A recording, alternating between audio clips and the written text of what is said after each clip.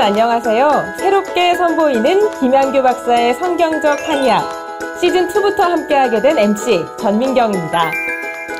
그동안 김양규 박사님 강연 함께 들으시면서요. 더 묻고 싶었던 점, 또 더 궁금한 점 참 많으셨죠. 앞으로는 제가 여러분의 입장에서 궁금한 점 쏙쏙 뽑아서 박사님께 질문을 거침없이 던지도록 하겠습니다. 그럼 구TV의 영원한 명의 김양규 박사님을 모시겠습니다. 육체적으로 뼈가 중요하듯이 영적으로도 우리 몸의 균형이 중요합니다. 혈관이 터지고 혈관이 막히고 해서 여름에 왜 뜨거운 것을 먹느냐? 그 하나님 앞에 가까이 나가게 되고 껍질째 포도를 발효시킨 것이 또 사회에 나가 보니까 조금만 먹어도 어떻게 골대적으로 보이는 아주 홀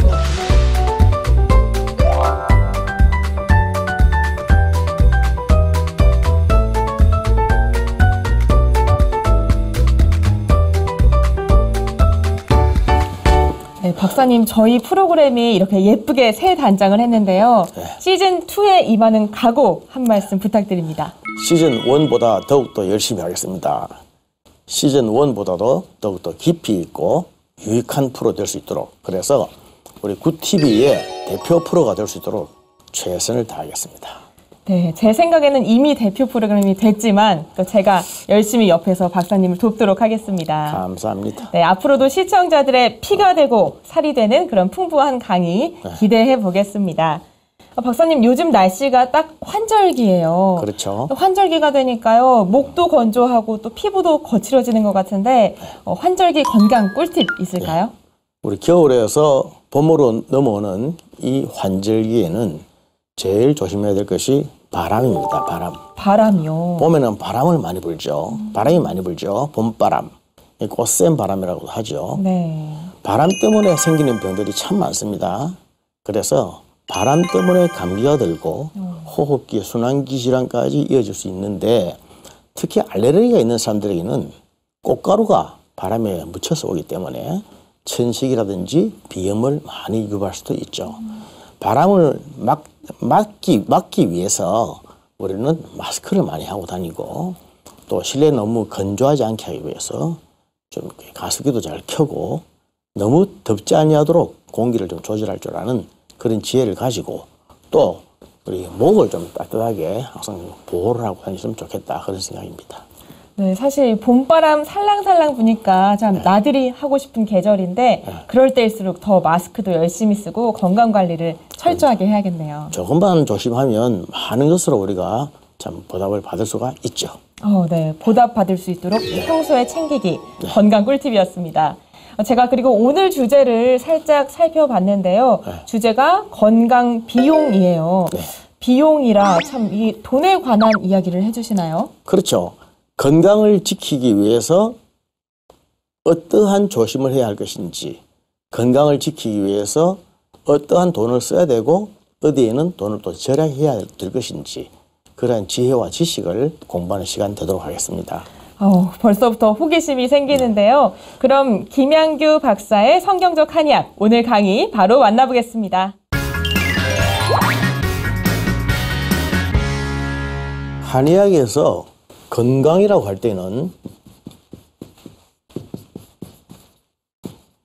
그 정의가 있습니다. 건강이 무엇이냐고 하면 음과 양의 균형을 말합니다. 음과 양의 균형. 모자라지도 않고 부족하지도 않고 저 과하지도 않고 그것이 바로 건강이라는 것이죠. 우리가 살아가면서 정말 우리 몸의 건강을 유지하기 위해서 음과 양의 균형을 얼마나 적절히 잘 이루고 있는지 하는 것을 오늘 한번 돌아보겠습니다. 건강 비용으로 제일 먼저 생각해야 될 것이 무지 비용입니다. 무지 비용. 알지 못해서 치르는 값이란 거죠. 예를 들어 봅시다. 자동차 운전할 때 우리가 운전은 다 하지 않습니까? 운전은 다 하지만은 만약에 운전을 하다가 차가 고장이 나서 멈추면 어떻게 합니까? 그러면 그냥 기사를 불러든지 카센터 가든지 해서 고치지 않습니까? 그러나 그 사람들이 말하는 것이 그것이 정말 맞는 말인지 틀린 말인지 모르지 않습니까? 그래서 돈을 지불해야 되죠. 달라는 대로 줘야 되죠. 자동차의 엔진에 대해서 구조에 대해서 모르기 때문에 지불해야 되는 돈 그걸 무지 비용이라 합니다. 내가 만약에 안다면 훨씬 싼 값으로 덜 지출하고 고칠 수가 있겠죠? 모르기 때문에 지출하는 비용, 무지 비용. 자동차뿐이겠습니까? 컴퓨터. 다들 컴퓨터를 쓸 줄 알지 않습니까? 잘 쓰다가 갑자기 컴퓨터가 부팅이 안 되거나 고장이 나면 또 어떡합니까? 구조를 모르니까 기술자 불러와야죠. 기술자가 하라는 대로 해야 되는 것입니다. 기술자가 달라는 대로 줘야 되는 것이죠. 이게 구조에 대해서 모르기 때문에 지불하는 무지 비용. 그래서 내가 나이가 예수 넘어서도 야 이거 컴퓨터 구조를 좀 배워야 되겠구나. 자동차 엔진의 구조를 좀 배워야 되겠구나. 요새 그런 생각을 합니다. 하도 무지 비용으로 지출한 것이 너무나 많아서 그렇습니다. 근데 그것뿐이겠습니까? 우리 몸의 구조, 몸의 구조가 어떠한지 모르기 때문에 잘못 써가지고 몸을 사용을 잘 못해서 지출해야 되는 돈. 이게 무지 비용이지 않습니까? 술을 마시면 어떻게 어떻게 해서 몸이 안 좋고 담배를 피우면 어떻게 모- 몸이 안 좋고 화를 내고 성을 내면 어떻게 안 좋고 등등 이 모든 그 메커니즘을 안다고 하면 내가 조심하겠죠? 그러면 지출하지 않아도 된단 말이죠. 모르고 계속 계속 과, 과용, 오용, 남용을 하다 보니까 결국 어느 단계에 가서 병이 나고 그래서 지출해야 되는 엄청난 경비. 어디 그거 뿌리겠습니까? 우리 몸이 무지 비용은 무지무지하게 많이 있는 것입니다. 사실 무지 비용은 무지무지하게 많다. 이게 특징입니다. 또 어떤 병이 있을까요? 불화병이 있습니다. 불화병.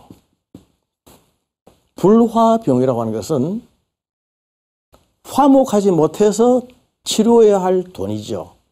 요새 한창 유행하는 미투. 정말 입에 담기도 싫고 부끄러운 그런 이야기들. 미투 이거 가만히 보면은 불화병이에요. 몇 년 전, 몇십 년 전, 옛날 옛날 한 옛날에 한 사람과 불화해가지고 훗날에 그것 때문에 내가 생각지도 안 했던 엄청난 경비를 치러야 한다. 어쩌면 거기에 한 사람의 인생이 달려 있을 수도 있고, 목숨이 달려 있을 수도 있고, 전 재산이 달려 있을 수도 있고, 전체 명예가 달려 있을 수도 있다는 거죠. 불화하면 치료해야 할 것. 불화하지 않았으면 치료하지 않아도 되는 것. 이게 불화병입니다. 불화병. 이게 소위 말하는 관계에서 오는 것이죠. 사람과의 관계. 사람과의 관계.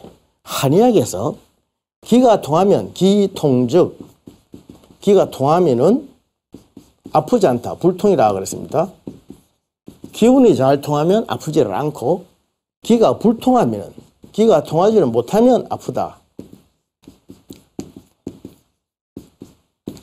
기통즉 불통이요.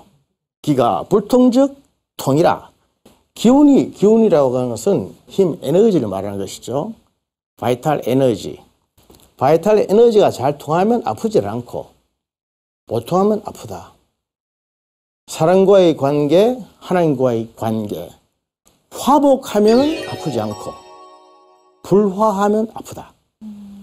혹시 우리들 가족들 중에서 가족들과의 관계가 불화해서 그것 때문에 생기는 아픔, 그것 때문에 지출해야 될 무지무지한 경비, 무지무지하게 돈을 쓰는 것, 병원 계속 병원에 다니고 치료해야 될 것, 그런 것 혹시 없으십니까? 박사님 그럼 이 무지무지한 무지 비용과 불화 비용 말씀해 주셨는데 네. 무지 비용을 아끼려면 제가 공부하면 될 것 같아요. 공부해야죠. 그런데 불화 비용을 아끼려면 네. 화를 안 내야 되는데 네. 그 방법이 뭐가 있을까요?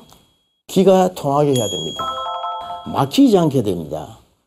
무지 비용을 아끼는 사람, 무지 비용을 적게 지출하는 사람이 건강한 사람이에요.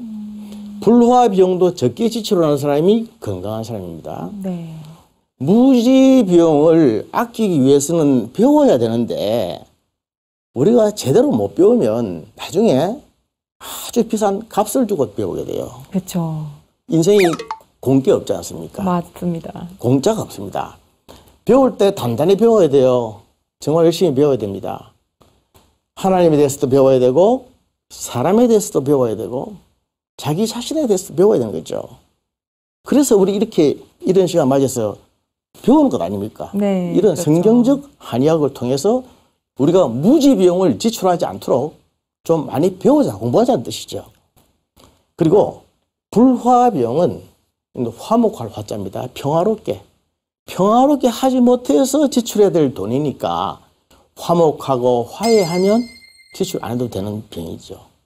그런 돈이죠. 그래서 화목하도록 애써야 됩니다. 서로 사랑하라는 거죠.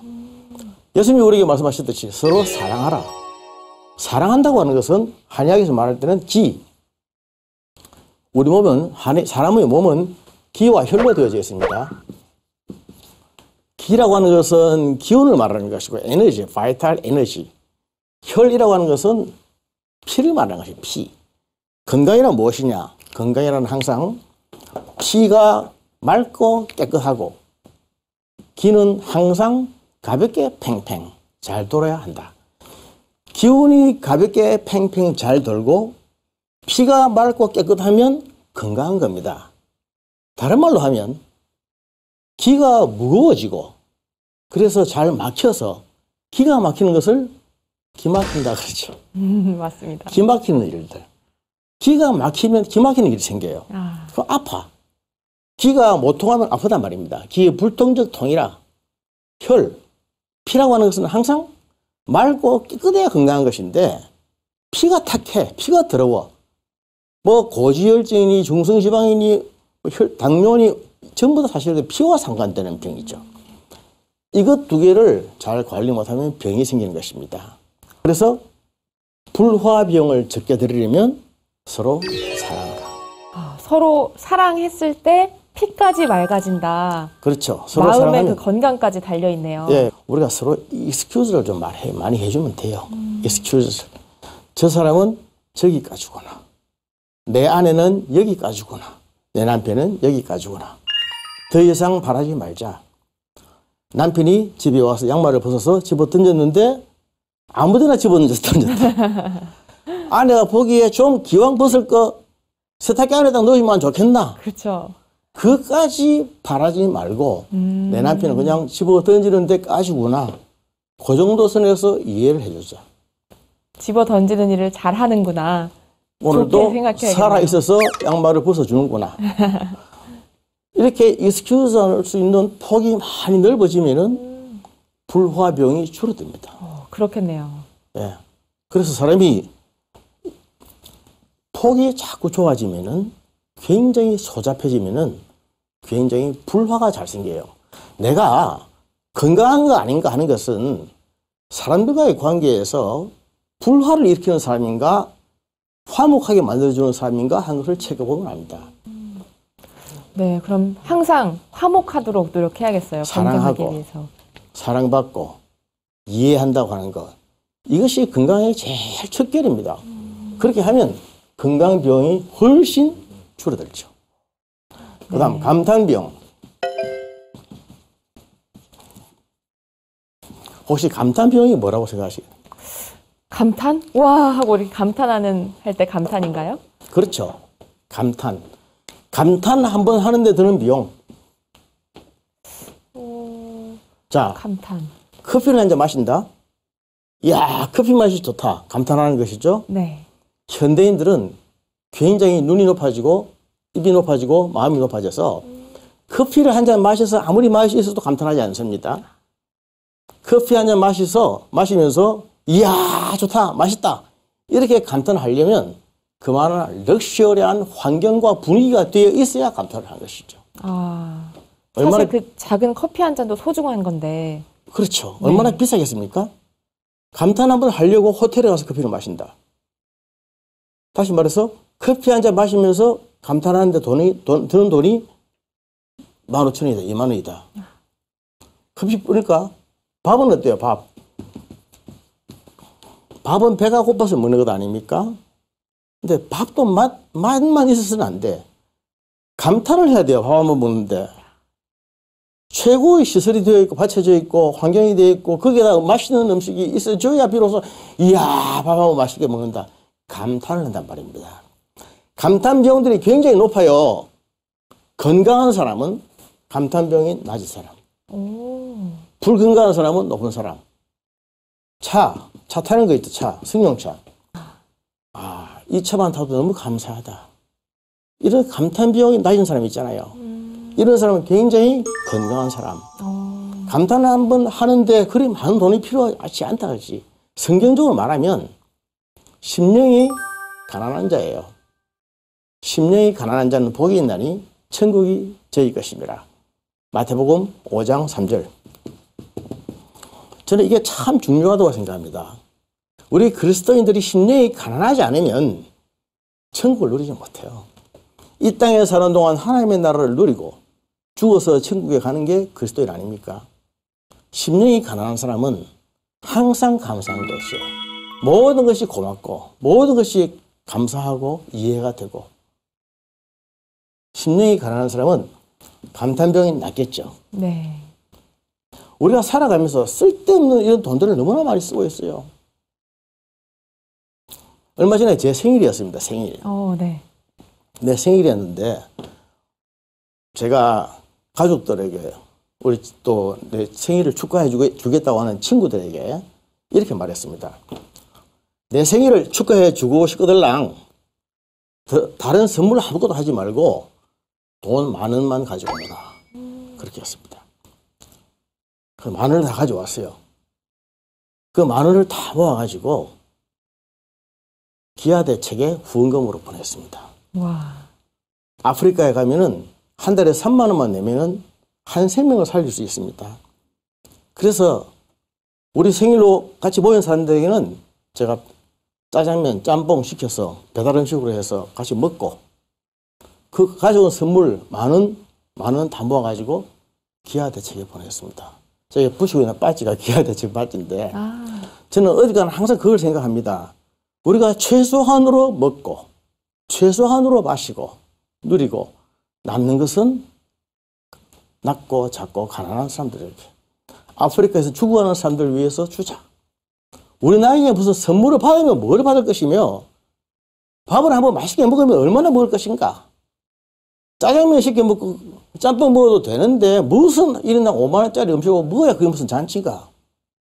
다만 원씩만 안 되라. 애비, 애비 생일이라고 20만 원, 30만 원 가져오지 말고 만 원만 줘라. 그래가지고 제가 딱 해서 바로 보냈습니다. 네. 저도 얼마 전에 생일이었는데 네. 참 반성하게 되는 박사님의 말씀이었습니다. 우리가 이런 것을 감탄 비용을 공부하고 알면은 인생이 달라집니다. 내가 얼마나 마음이 높아져 있었던가, 얼마나 내가 나를 위해서 썼던가, 신앙생활이 무엇인가, 주일날 교회만 나가면 신앙생활인가? 아니지 않습니까? 예수님은 이 시간도 우리에게 죽어가는 사람들을 도- 돌봐주고 보살펴주고 구제해주고 사랑해주라고 하시는데 나는 나를 위해서 최대한으로 쓰면서 눈 감아버리면 하나님 앞에 최고 악한 것이죠. 우리가 감탄 비용을 줄이지 않으면 평생 못합니다. 자기 자신이 한번 감탄하기 위해서 엄청난 경비를 쓰는데 그래도 돈이 모자라는데 어떻게 남에게 도와주고 뭘 베풀어 주고 하겠어요? 아무도 못 합니다. 그렇지 않습니까? 네. 앞으로는 겉에 보이는 것에 감탄하려고 하지 않고 네. 그 일상의 소소한 작은 것들에 감탄을 하면서 감사하게 살아야겠어요. 맞습니다. 그래서 감탄 비용이 적은 사람, 낮고 작고 가난함, 그것에 만족하고 감사할 줄 알고 감탄할 줄 아는 사람, 그런 사람은 아주 건강한 사람. 그러지 못한 사람은 굉장히 불건강한 사람. 우리가 어떻게 지금 살아가고 있는지 한번 돌아봐야 됩니다. 건강이란 무엇이냐? 음과 양의 균형이요. 과하지도 않고 부족하지도 않은 것이라 그랬습니다. 과한 것은 무엇이며 부족한 것은 무엇일까? 여러 가지 면에서 생각하고 있죠. 거래 비용. 거래하는데 드는 돈이죠. 거래하는데. 자동차 얘기 한번 더 하겠습니다. 이 자동차가 5천만 원짜리다 하고 딱 주면 아 그렇게 알고 사인을 하면 그냥 차를 산 거죠. 그런데 이 차의 엔진이 정말 새, 새 것이 맞는지 이 차의 뭐 안에 내부 구조는 혹시 중고가다는 건 아닌지 일일이 시험해보고 테스트해보고 검사해보고 한다면 엄청난 시간이 들고 엄청난 돈이 많이 들겠죠. 그렇게 하는데 드는 돈을 거래 비용이라고 합니다. 현대인들 신용사회, 건강한 사람, 인격적인 관계, 사랑하는 관계에 들어가면 거래 비용이 확 줄어듭니다. 믿음을 높여야 된다는 말씀이신가요? 상호 신뢰하고 믿고 믿음을 받고 그 따지는 게 따지는 게 아니죠. 거래 비용이 적은 비싼 사람은 따지는 사람, 따지는 사람. 이게 왜 이랬느냐? 이게 이렇다 그러면 아 그런지 하고 들어가면 되잖아요. 이거 정말 그런 게 아니냐? 이거 왜 그랬느냐? 끝까지 집요하게 물고 늘어진다. 그러면 답은 안 나오고 시간과 돈은 계속 써야 되고 일은 안 되고 거래 비용은 자꾸 너무 또 높아가고 거래 비용이 낮은 사람. 정말 안타깝게도 우리 사회가 서로를 많이 믿지 못하는 사회가 된 것 같아요. 막 무작, 무작정 믿었다가는 당하지 않을까 걱정하고. 그렇죠. 어떻게 하면 믿을 수 있을까요? 그러니까 우리가 내 강의를 들어보면 좀 아시겠지만 무지 비용이 얼마나 높으며 술 마시지 않았으면 간 때문에 쓰는 돈이 없었을 텐데 담배를 피우지 않았으면 심장이나 폐 때문에 나가는 돈이 없었을 텐데 불화 비용이 얼마나 높고 또 감탄 비용도 얼마나 높고 거래 비용도 얼마나 높은지 모릅니다. 이걸 다 낮추자 이 뜻입니다. 이거 낮춰서 뭐 할 것이냐? 구원 비용. 구원받는데 쓰잖아요. 구원받는데. 구원받는 게 우리가 신앙생활을 하면서 자칫 잘못하면 구원은 그냥 받는다. 공짜다. 뭐 이렇게 생각이 쉬워요. 예수님의 십자가 보혈이 공짜가 아닙니다. 너무나도 값비싸기 때문에 값을 안 친 거예요. 만약에 그것을 그 값대로 다 카운팅해서 달라고 한다면 아무도 살 수가 없는 사람이지. 정말 예수를 잘 믿어서 그렇게 성, 성공적으로 구원받는 데에는 많은 비용이 듭니다. 그래서 예수님께서는 좁은 문으로 들어가라 하시지 않았습니까? 좁은 문으로 들어가기 위해서는 실제로 엄청난 비용이 많이 듭니다. 나를 위해서는 이런 것들을 최소한으로 줄여야 하고 이웃과 하나님의 나라를 위해서는 최대한으로 써야 되지 않습니까? 그런데 쓴 돈들이 구원 비용이에요. 나도 살지만 저 사람도 살리자. 나도 살고 저 사람도 살리고. 그러기 위해서 내가 아낄 것은 최대한 아끼자. 제가 이런 성경적 한의학을 하면서 정말 그런 쓸데없는 낭비를 하지 않게 하기 위해서 돈을 절약할 때는 다 절약해서 이렇게 유스풀한, 미닝풀한, 의미 있는 일에 사용할 수 있게 하기 위해서 성경적 한의학을 강의하고 있습니다. 앞으로 시즌2에 방송을 듣는 여러분들, 방송만으로 끝하지 마시고, 내가 건강해지고, 나를 통해서 다른 사람들을 살리는, 하나님의 나라를 이루고 나가는 멋진 선도인들이 되십시오. 네, 박사님 강의를 들어보니까요. 제가 지금까지 써온 비용도 참 어마어마하게 느껴져요. 앞으로는 많이 아끼면서 살아야겠어요. 그래서 앞으로 저와 같이 성경적 한의학 이 항해를 하시면서 돈 문제부터 우리 신경 쓰도록 하십시다. 쓸데없는 돈, 최대한 경비, 코스트, 비용을 줄이고 의미 있고 하나님 기뻐하시는 그 일에 돈을 팍팍 쓰도록 하십시다. 그렇게 하면 건강해집니다. 살리는 것은 영이라고 그랬지 않습니까? 영이 살아서 영적으로 살면 육체가 건강해지고 정신이 맑아지는 거예요. 살리는 것은 영입니다. 건강 강의, 성경적 한의학 강의를 들으시면서 한 불이라도 자기 자신의 씀씀이 비용 지출에 대해서 돌아보시고 앞으로는 더욱더 영적으로 육적으로 건강한 여러분들의 삶을 이루시기를 축복합니다. 감사합니다. 네, 박사님 좋은 강의 감사드립니다. 네.